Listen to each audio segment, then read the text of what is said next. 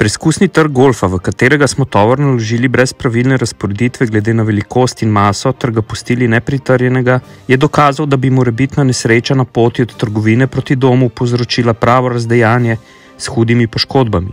Pri čelnem trčenju hipni pojemki dosežejo celo od 30 do 50 G, To pomeni, da morajo trakovi, ki držijo 145 kg tovor na mestu, zdržati silo primerljivo z maso 7 ton. Nezavarovan tovor se ob takem pojenku prosto giblje po kabini in povzroči hud nalet znotraj potniške kabine. Kos pohištva, ki zadane potnika pri trku s hitrostjo 45 km/h, povzroči hude poškodbe. Za lažjo predstavo, v telo udari s tako silo, kot da bi padli za 8 metrov višine na betonska tla.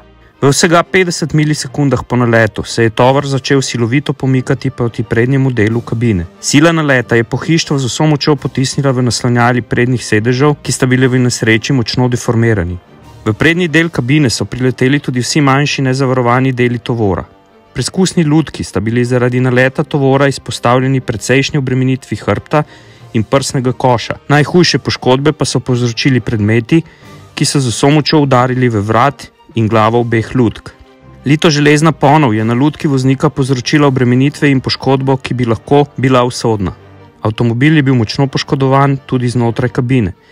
Glavni cilj tokratnega testa je nazorno prikazati posledice nepravilno naloženega in nezavarovanega tovora, ki ga ne malokrat vozimo v svojih avtomobilih.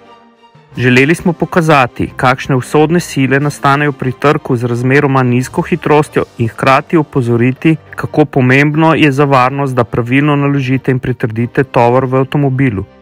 Želeli smo tudi pokazati, kako pomembno je pravilno zavarovanje tovora, pa tudi kako lahko bolj učinkovito porazdelite tovor v svojem vozilu in kateri enostavni ukrepi pomagajo učinkovito varovati predmete in življenje.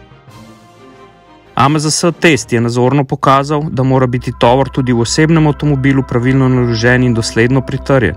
Ko boste naslednjič na parkirišču trgovine v prtljažnik polagali pohištvo, ne pozabite, da ni glavni izziv zapreti vrat prtljažnika, temveč varno naložiti in zavarovati tovor.